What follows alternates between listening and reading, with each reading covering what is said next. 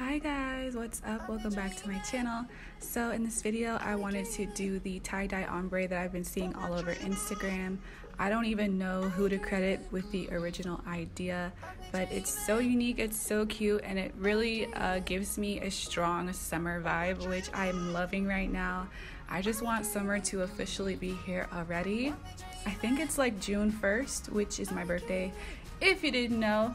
Um, but yeah, I think that's when the summer is official in June 1st. Let me know if I'm wrong.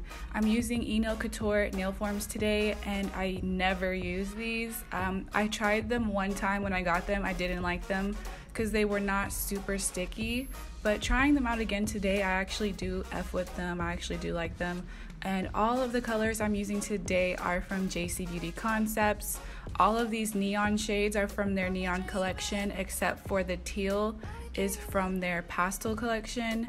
Uh, yeah, I believe that's right. And then I have like two different hot pinks here. One of those is in the neon collection, and one of those they just sell on the site separate. And all of my nude shades are also JC Beauty. And I will be calling out their name to you in a second. So, um, as you guys know, when I do my thumb, it's kind of like my experiment nail, trying to get a feel for how I want to do this set because I've never done this before and I do want these to be long so I'm taking them almost to the end of the form. I'm stopping right at this pink line here. And um, yeah by the way subscribe. Do you like my new little graphic that I made? Subscribe sis subscribe. But so my thought was why don't I put down a base color and then swirl the colors on top? But I ended up not really liking this. It kind of made the nail a little bit on the bulky side, so I do change this up on the other fingers eventually um, and I kind of come up with my own just willy nilly type of method. I feel like there's no way to do this wrong. You can be as detailed as you want or as messy as you want. I kind of switched it up on each finger so you guys can get a feel for it. Um, so I'm just picking these up. You want to work kind of wet. I feel like these neon shades set a little bit quickly. I was expecting to have some more time to swirl them around on the nail, but they were like ready to set right away. So this is Cover Blush. I love this color. I will probably always like reach for this color. I feel like it just covers so well and it goes with everyone's skin that I've used it on. Everyone loves this color so much. And also, I'm taking this color called Soft Pink, and I feel like Soft Pink is kind of like the milky version of Cover Blush. Um, so I'm using that to facilitate my ombre here and make it a really nice seamless blend. So I put that in between the tie-dye and the nail bed color. Then I will just cap the rest of the nail with clear acrylic. And that is basically it for this ombre. Um, I'm using the number 12 oval alpha brush. So um, yeah, you guys will see me change the technique up on the other fingers. I start to just like pick up more than one color or I make the base layer like three different colors and then I kind of like add detail on top. But like I said, there's no wrong way to do this. You are the um, you are the master of your tie-dye. You are the um, I don't know, you're in control of how you want it to look, I guess. Um, by the way, I just want to say thank you to everyone in Notification Gang for coming and checking on my video as soon as you got the notification. That means so much to me, like honestly, thank you. I'm just gonna let you guys watch the rest of my application and I will be back um, around the time of filing. I did leave in the filing in this video. By the way, how stunning oh my god this teal really did it for me in this set i i really am not a teal person don't know why i really should put some respect on teal but this teal just slayed my entire life. It looks so freaking pretty with the rest of these colors, you guys. Wow. Wow, no words. So I hope you guys like the application. I'll be back around filing to tell you guys what's good. So please continue to keep watching and I hope you like the tunes in this video.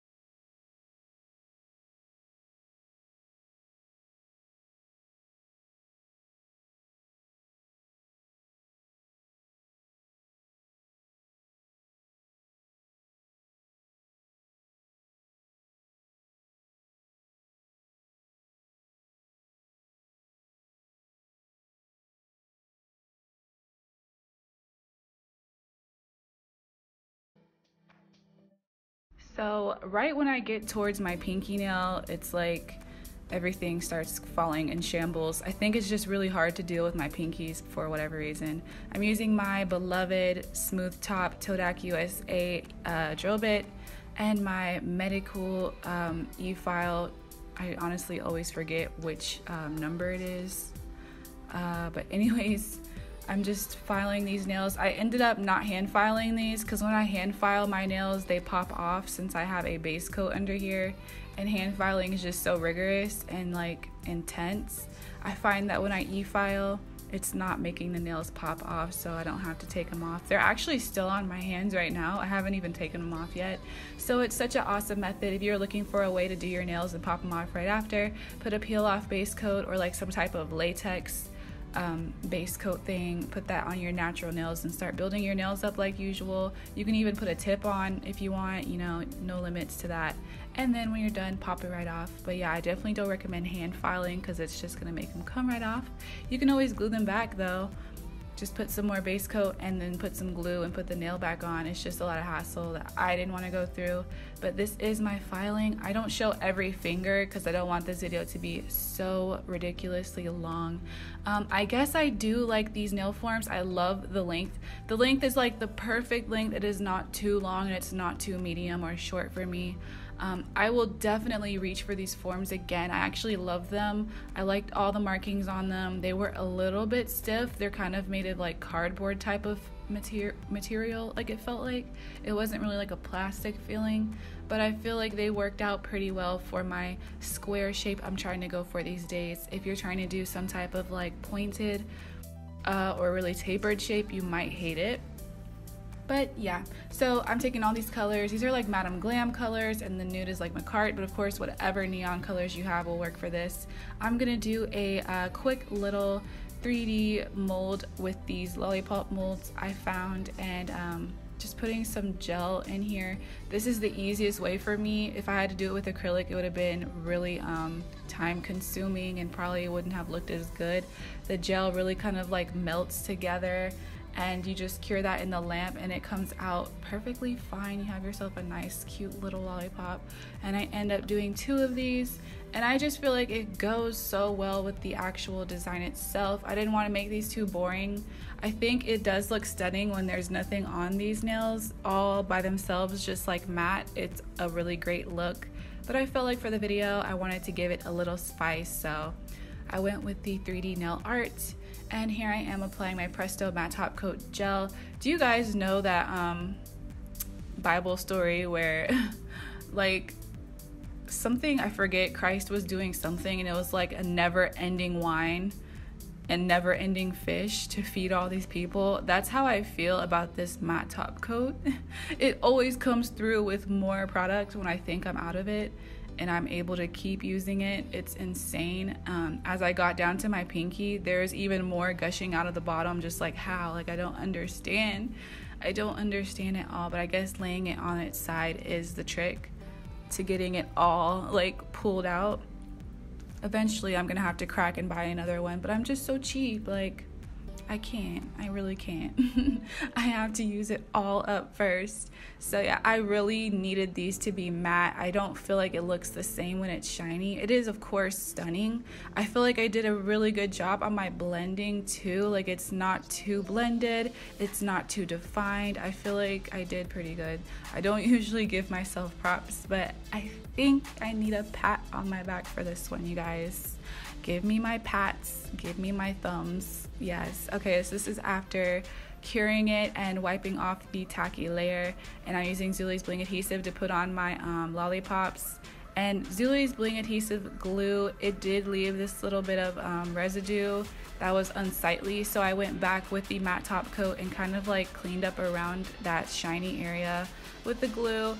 And then I had some AB stones like sitting out that I didn't finish using from my last design and I kind of just out of lazy out of laziness of not wanting to put them back, I just put them on this design. Really could have done without it, but also trying to spice this up and make it cute to look at, fun to look at, eye-catching, whatever you want to call it.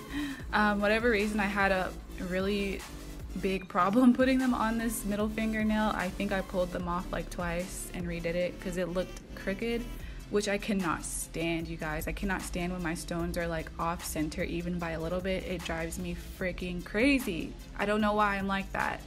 Um, and my stone picker is from Banggood. It is so nice. I love having a pointy katana if your crystal katana is super um, flat by now, you can go ahead and get you a pointy one from Banggood for like $8. And of course, y'all know I had to take you out with me to look at these nails in the sun because indoors would not have done it justice whatsoever.